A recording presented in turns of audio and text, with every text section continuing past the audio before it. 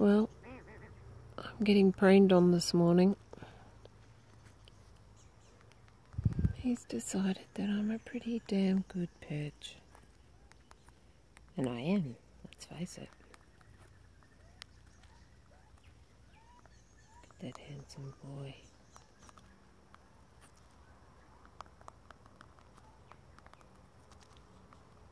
There's those beautiful eyelids again.